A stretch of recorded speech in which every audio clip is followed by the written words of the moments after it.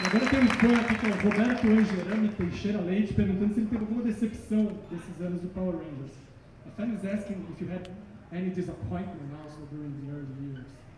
Disappointment on the show? disappointment on the show. Uh, well, sometimes when we change, you know, cast members and, you know, you get close to someone and someone changes cast members, then we've always, if you look at the show, we've been through so many different cast members. You know, my brother was supposed to play the Gold Ranger and then came very close to it but didn't.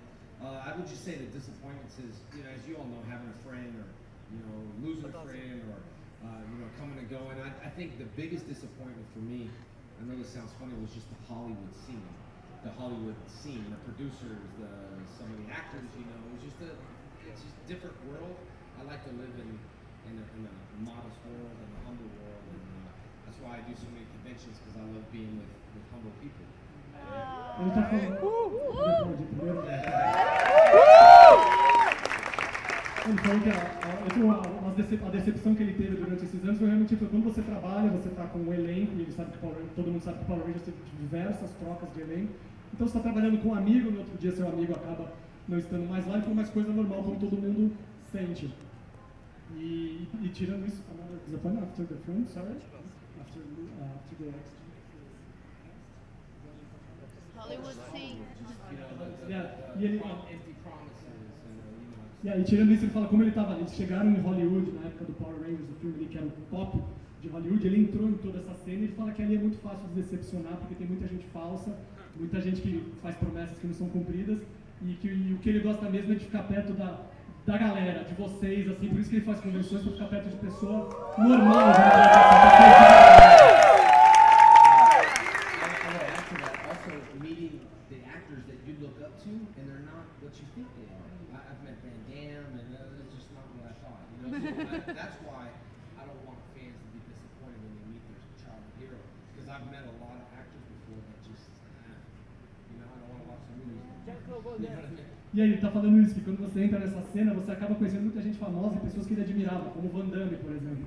E aí ele fala que ele acaba se decepcionando e ele não quer que os fãs dele sintam isso. Que ele, quer, ele, não, ele acha que o- quem é o herói de alguém, essa pessoa não pode ser decepcionada. Então é isso, por isso que ele gosta desse carinho e desse contato com vocês, fãs, que ele, ele se importa muito com isso. Agora um outro fã, que é o Fábio Augusto Ramos Carvalho, ele vai falar sobre um momento mais triste, que ele quer saber como que eles receberam a, a notícia da morte da Tui Trank e como que se o, o elenco chegou a se reunir uh, nisso. Now they're talking about kind of a sad moment got by the name uh, Tui Trank. Uh, this friend is asking if you remember when when you got the news and if the cast, how, how was the feeling that day, how you got the news? That was really tough. The um, it was about this time. It was after my birthday, uh, about September-ish after my birthday. You see, when my brother passed away, it was really hard, still hard, you know, uh, to go to funerals and all that stuff. Um, and when Tweet passed away, it was super hard, just because the, the death scene alone is just very sad.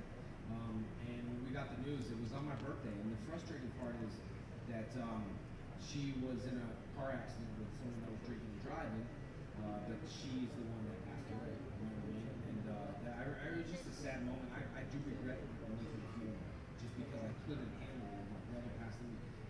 To, this day, how many years has it been? It still brings tears, you know. To, Ele está falando que foi, foi nessa época do ano, mais ou menos, ele lembra que era perto do aniversário dele, e o irmão dele tinha falecido um pouco antes. E aí ele recebeu a notícia, como foi um acidente drástico, para quem não sabe, a Train morreu um acidente de carro, e ele está falando que a pessoa que estava dirigindo o carro tinha bebido, só que quem acabou falecendo foi a Toy, que não estava dirigindo. Então ele fala que é um momento muito triste, ele falou que até hoje ele se arrepende um pouco de não ter ido no funeral, mas ele falou que ele não conseguia, ele falou que foi muita... A morte já é uma tristeza, ele falou, é uma morte drástica desse jeito ainda mais. Então ele falou, era, teve a morte do irmão aí para no funeral, e aí ele falou que até hoje quando ele fala, vem, vem lágrimas nos olhos, porque ainda mexe muito com ele isso. Oh, no, no, no, no, it's okay. But, no, the thing is, the interesting thing about this is there's a, there's a, there's a trivia game. Uh, Power Ranger trivia. Tem um jogo de trivia, de perguntas e respostas do Power Rangers agora. and Um jogo. É. game. E tem esse jogo, e tem essa pergunta no jogo, como se fosse Jogo de tabuleiro, de perguntas e respostas, você tira uma ficha e tem essa pergunta. pô, a lot of people are upset because it's a game. You know? E todos estão meio but, it's okay. A lot of people, I think, asking questions it lets you live on. Ele acha que perguntar respostas você continua vivendo. Então, não tem problema nenhum que você you. Pede pra ele mostrar a tatuagem do Power Rangers no to show Tatuagem. Power Rangers tattoo? Oh yeah, yeah. Power Ranger tattoo. Agora uma pergunta de Joel.